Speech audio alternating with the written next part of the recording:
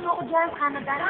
Pero mo, ito, kasama ko siyang bumili nito ng ating bulero. Anong favorite shop sa France? Sa France.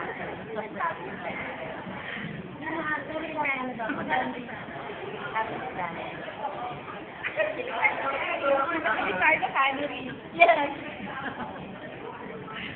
Parang ano, no, yung bata.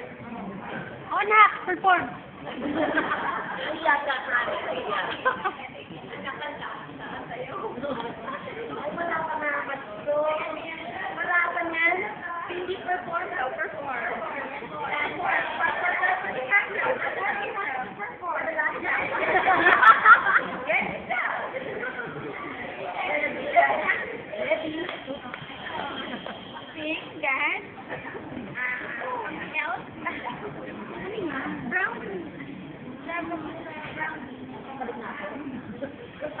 Brownies.